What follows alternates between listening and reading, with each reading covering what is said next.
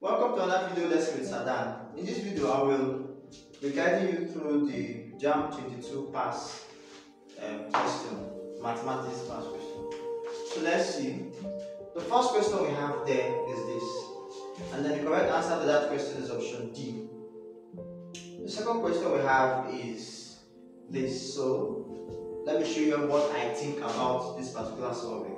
So there we have x y over 2 is equal to x. Evaluate x cubed plus 1 over 2 divided by 1 over 2 minus x squared over y squared.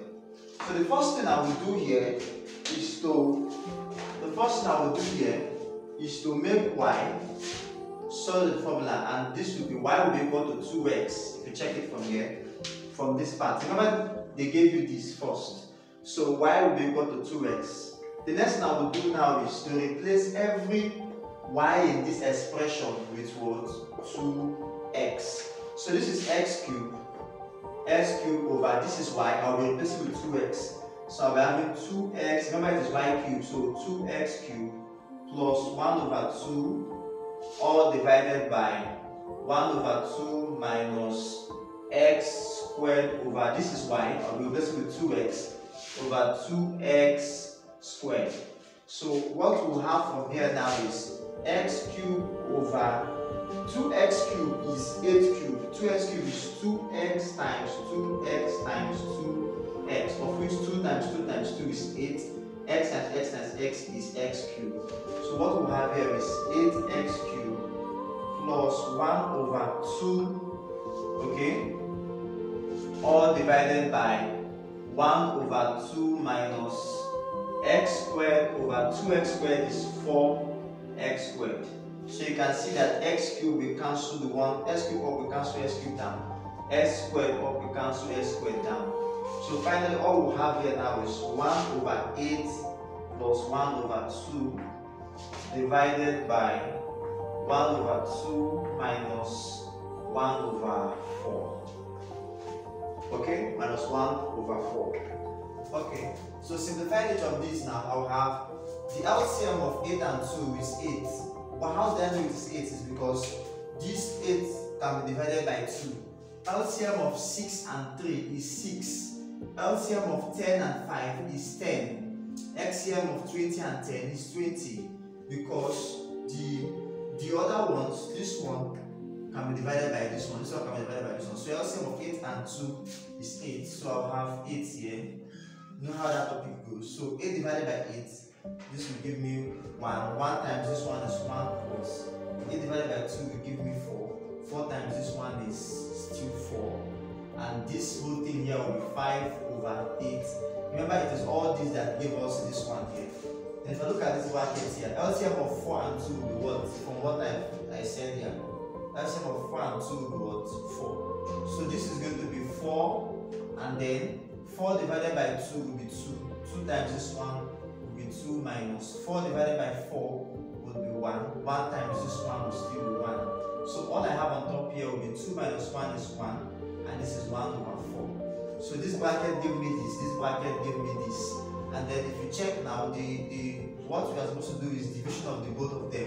So it means this is 5 over 8 divided by 1 over 4. Now, what would this give us? You know how it go. Remember A over B divided by divided by C over D is equal to A over B times D over C. Please take note of this rule. Okay, if I if I explain, if I keep on explaining in detail like this, this video will be very long. So I'll be, I'll be giving short, short tips. So take note of each of those short tips. So it means this will be 5 over 8 times what? You will do 4 over 1. So 4 here is 1, whereas 4 here is how many? 2. And this will be 5 over 2. So this should be the option, either 5 over 2 or in, I don't know what you have, or in um, mixed fraction, this will be 2 number 1 over 2 all together. The next question, but let me check if, if we have this in the option. Okay, we have option B as 5 over 2. The next question is question 3. the answer to question 3 is option A 0.039. The next question is question 4. If P is equal to 3 minus 2, 4, 5, 0, 6, 7, 5 minus 1, then minus 2p is equal to what? Okay, now this is a very simple question. If p is equal to this, we should find minus 2p. Minus 2p means we should multiply everything, all this p, everything we have in p with minus 2. That is what it means. If the question is find 3p, it means I should multiply all this with 3. If the question is find 4p, it means I should multiply all this with what? 4. So for this example, for this question, find the value of minus 2p. That means I'll be doing minus 2 into everything I have here. Okay? So because of space, let's just do it. Because of time, let's do that once. So I'm going to have minus 2 times 3 is going to be minus 6. Remember that minus plus is going to be minus. This is plus. Whenever you don't have a sign in front of the number, it is plus. 2 is 2 has plus in front of it. So uh, minus 2 times 3, 2 times 3 is 6.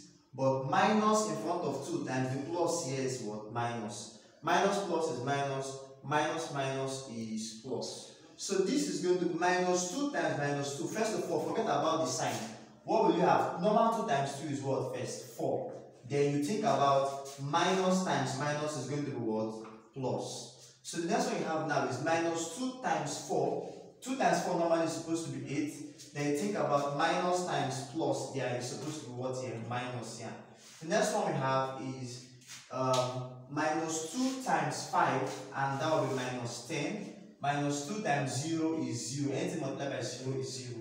Minus 2 times 6 is minus 12. Minus 2 times 7 is minus 14. Minus 2 times 5 is minus 10. Minus 2 times minus 1, that is minus minus, and that will be just 2. So this is the correct answer.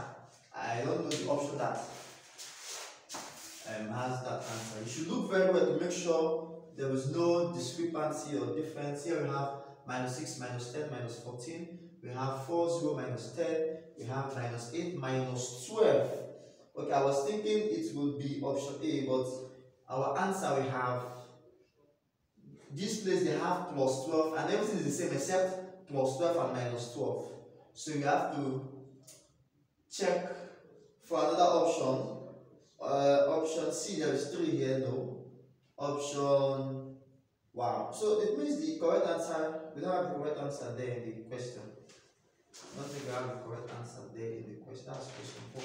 So what we're supposed to have here is minus 2 and not that, uh, minus 12 and not just 12. I think there's a typographical error or something. The next question is question 5. Find the value of P in terms of Q. Now if Y and if these two guys intersect at x equal to 2, find the value of P in terms of Q. There are two things you must take note of here. The first thing you must take note of is intersect.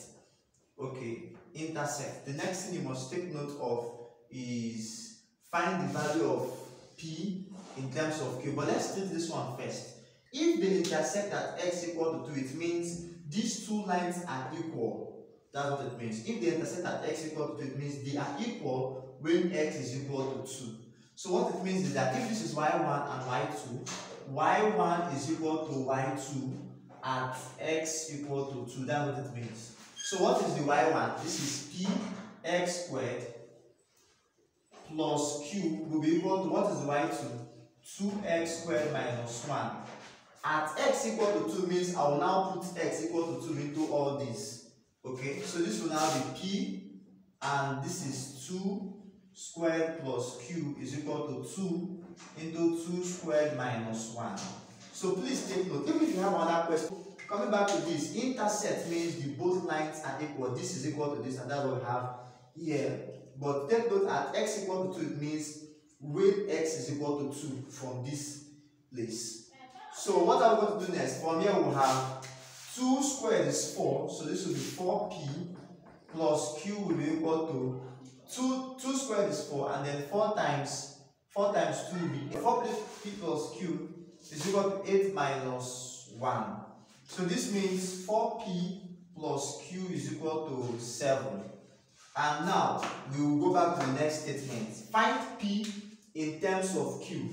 Finding P in terms of Q simply means you should make P the subject of the formula. P is supposed to be the value on the left hand side and Q on the right hand side.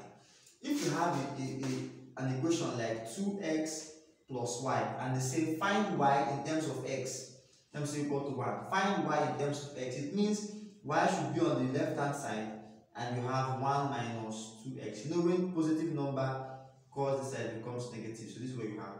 So here the statement is find p in terms of q, it means make p subject of the formula. So from here we now have 4p will be equal to 7 minus q because uh, for me to make p subject of the formula I have to remove everything from here and I have to have only p on this side. So for me I have move q to that side that will be 7 minus q so the P now will now be 7 minus Q divided by 4. If you divide both sides by 4 to remove the 4 from here. And that is the correct answer. Let's check the options. And that will be in option B. Option B is the correct answer.